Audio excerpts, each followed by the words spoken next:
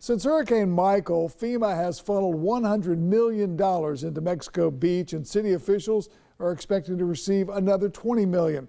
City amenities, along with infrastructure, have all been a part of the long list of projects.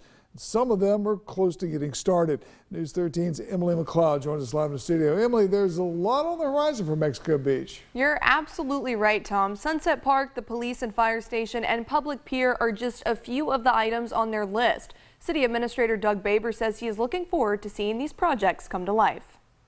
Mexico Beach residents lost virtually everything in 2018's Hurricane Michael. City Administrator Doug Baber says he's ready to give them back some of their amenities. Some of the recent highlights have been on the infrastructure.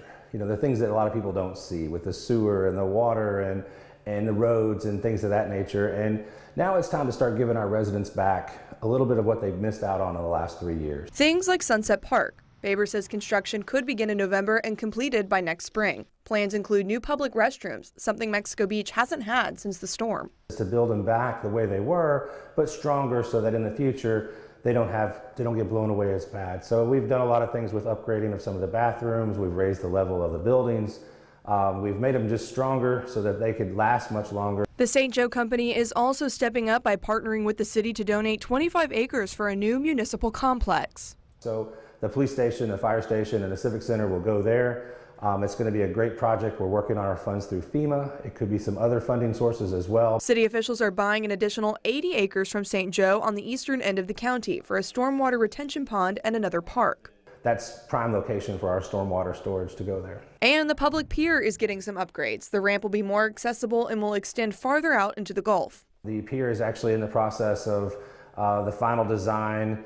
Um, the, the funding source is, is not fully funded yet, so we're waiting on how much money they're actually going to give us, but they've been very receptive to some of the ideas that we've, we've put forward to them.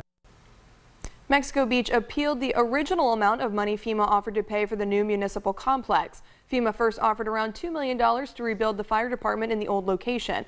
City officials are asking for around 9 million. Tom? Why are they asking for so much more money, Emily? Well, it's going to cost more money to prepare the 25 acres the St. Joe Company is giving them for the new municipal complex, primarily for building roads. And that gets expensive.